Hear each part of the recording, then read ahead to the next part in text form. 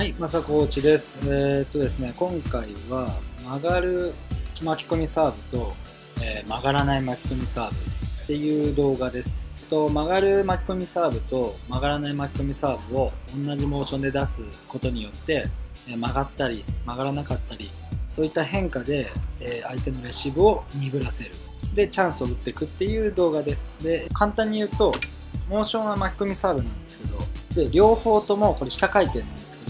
横下回転とあと普通の下回転順の下回転。横下回転と順の下回転。これで曲がるサーブと曲がらないサーブを出し分けます。で横下回転だと曲がります。で、えー順の下回転だと曲がりません。まあモーション一緒で出す時にそのままボールの斜め下をこすって出していくと曲がる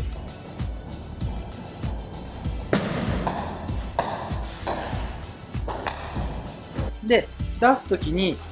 真下に当ててで抜いていく真下に当てて抜いていくと普通の下回転になるので上がらない下回転。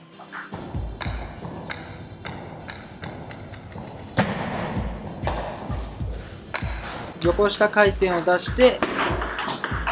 曲げる巻き込みサーブと当たる瞬間に真下にかけてでモーションをそのまま巻き込みサーブに。曲がる巻き込みサーブと曲がらない巻き込みサーブを分からないように出し分けてで相手を翻弄する。そういったサーブになります、えー巻き込みサーブも横下回転と順下回転両方同じモーションで出せるようにしてみてください。